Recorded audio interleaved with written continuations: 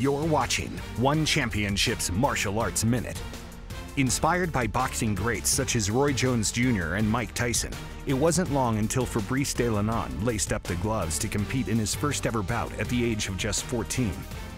Unfortunately, he faced a setback with his health due to a respiratory illness.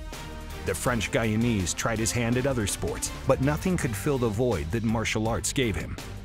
At the age of 22, Delannon discovered Muay Thai and to become the best possible Nak Muay that he could be.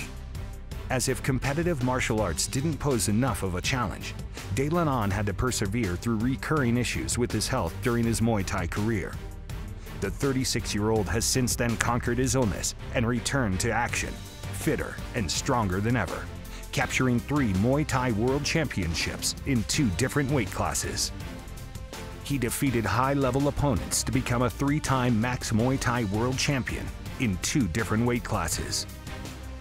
Now, the funky drummer has a new challenge ahead of him when he makes his one Super Series debut against two-division Lumpinee Stadium Muay Thai World Champion, Petchmorrakot War Sung Prapai in Macau on the 23rd of June.